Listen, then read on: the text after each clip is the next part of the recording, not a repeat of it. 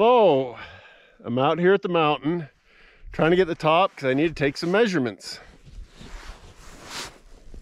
And I'm just starting. And this thing is uh, right here, the drift is probably two or three feet deep right there. And it was a pain just to get to there. Even with chains, I'm not gonna, it's not gonna be going up here. I'm gonna try to see if I can just walk the rest of the way up. It's gonna take me a while, but it's pretty nasty. Walk on the edge, it's not so bad, but we got some pretty good drifts here. Now, yeah, I'm up to my knees, just on the edge right here. I still got a long ways to go.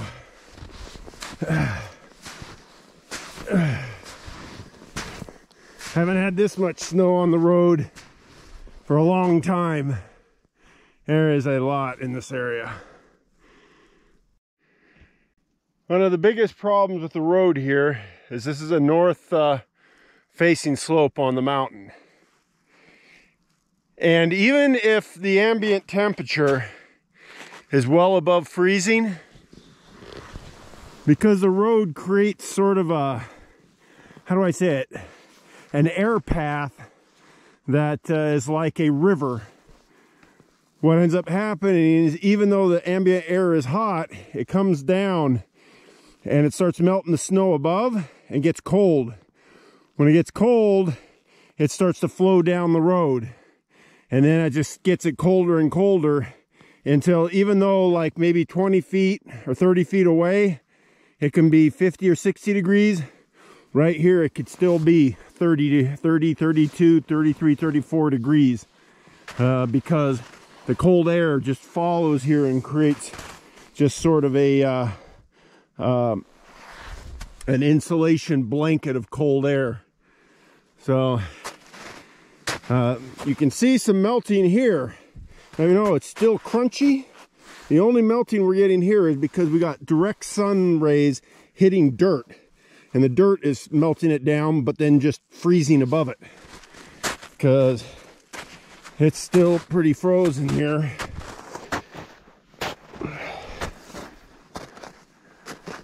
When we get up a little higher, we get to a uh, west facing, and we'll have less snow, hopefully. And then hopefully it'll peter out. But if this section of the road does not melt, we can't get we can't even get to the next section. So I might have to figure something out to try to get this thing uh, clear to the snow.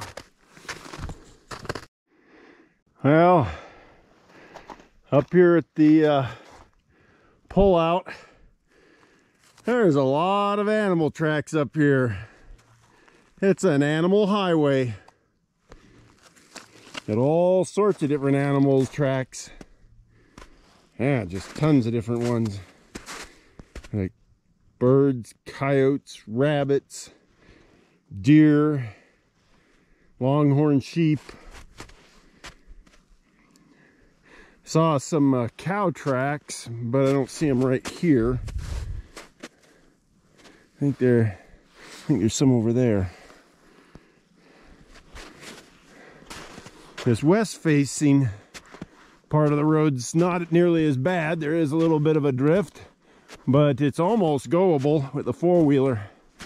Right here, if I stay, would be able to stay here at the edge. Looks like all the animals have turned it up enough that it was melting a little easier right in this area. Ah, let's keep going. See if we can go all the way up. Whew sweating big time. I had to take a coat off and just in like a t-shirt. Catching my breath and I'm almost at the top, but I got a big, huge drift right in the center here. This sucker's a biggie. Right in the middle. Yeah, I haven't seen drifts this big for quite a few years. it was considering we didn't really get much snow and uh, amount of snow out here wasn't that much but It doesn't take much to blow a three, four. I think there's about four or five feet right there. Probably about five feet right in the center. But other than that, the west side is pretty much uh, open to an ATV. But until that lower section melts down, can't even get up to this part, this point. Whew. I'm out of breath, but I made it to the top. Not much snow up here. Just an inch or two on the flats.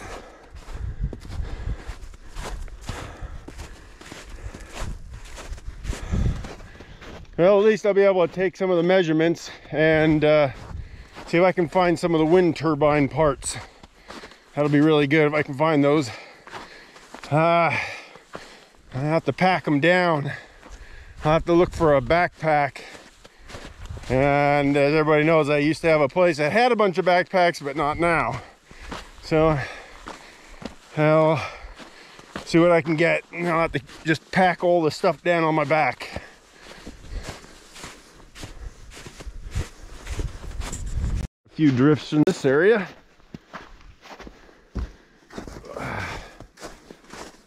There's a pretty big one right there. That one's uh it's like up to my waist. One, two, three, three and a half feet thick. That's pretty big.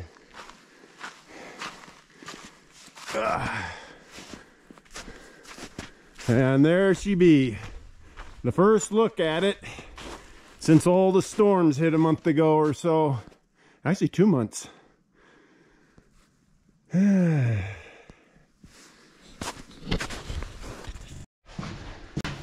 ah, just come in. I got a little bit of snow in this hall.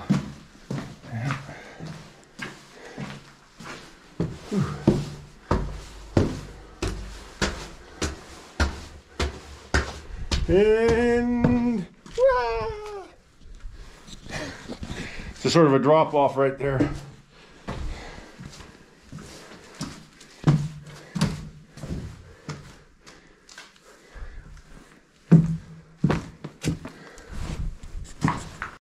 Now here on the roof, measuring the opening for one of the wind turbines. Uh, and then measuring that, they're, they're basically the same. One's slightly bigger, so yeah, 64 and three quarters. Just writing on a piece of wood. And then this door right here, uh, I've got the measurements for that. So those are like two things I uh, three things, but mostly only two types of things that I can work on. And uh, looking at all this, everything should be just fine. Looking at it, so that'll slide that way. That was a okay. I just had to make sure because there's going to be some shutters that slide that way. So there's there's just enough room to the corner because one shutter is going to go halfway and the other shutter that way to close it off. All right, now I got the measurements. Next thing to do is I want to grab some of the wind turbine components. I'm gonna have to look around for those and see what I can find.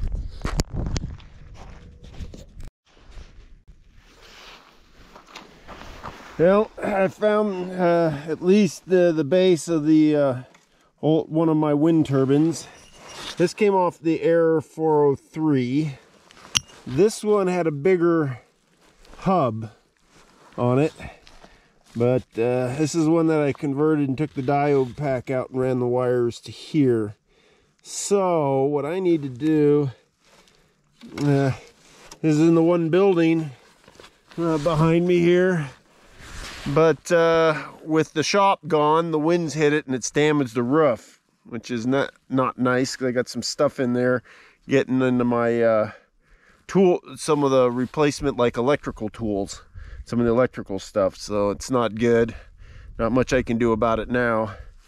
Uh, but uh, just uh, some more damage that I got to fix on the roof.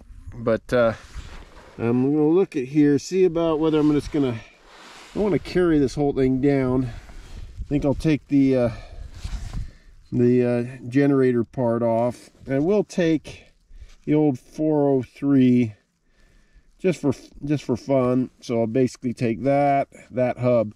Unfortunately, yep, like the hub that was on there and the blades, there was a complete blade set. It was in the uh, shop that burned uh, because the blade assembly is sort of large and I remember putting it on top of one of the big shelves. So this is all I have, which is not too bad because I can make a new hub. That's not that difficult. Uh, and I'll design it just to fit perfectly with this uh, unit right here.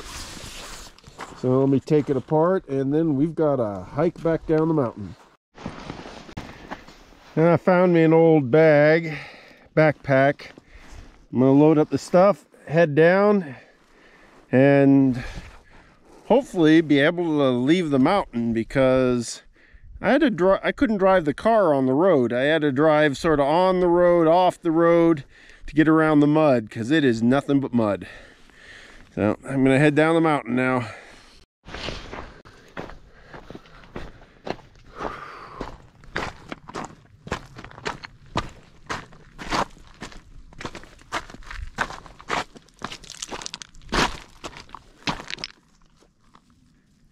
Is a beautiful view.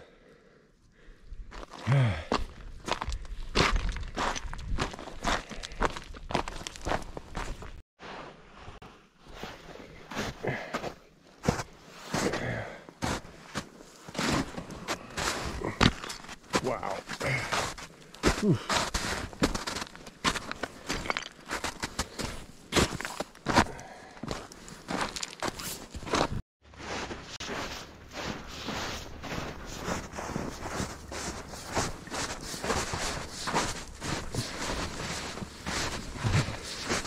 Cool shadow. Made it down. And uh, got my parts there. Uh, mud all over the car. Now it's uh, getting down to the main road is going to be fun. So if I stay off on the left, I think I can make it. That looks to be enough for today. I am going to uh, try to head down, hopefully not get stuck. And on another video, I will go through this, take a look at it. Uh, I just had wires coming out for the three phase. Might have to think about uh, doing some sort of plug on it. And then making a new hub. And uh, there'll be some um, new designing on that. But I've got all the measurements on my board right there. Uh, I could be able to start making the hub and all the uh, windmill blades. And then uh, I'll need to order some metal and make out all the frame and all the whole assembly to hold the uh, uh, the generator. And hopefully in the next couple weeks, we'll have a couple wind generators ready to be mounted when the weather clears. So Thanks everyone for watching. Please subscribe, please like, it really helps. And uh, you all have an awesome weekend.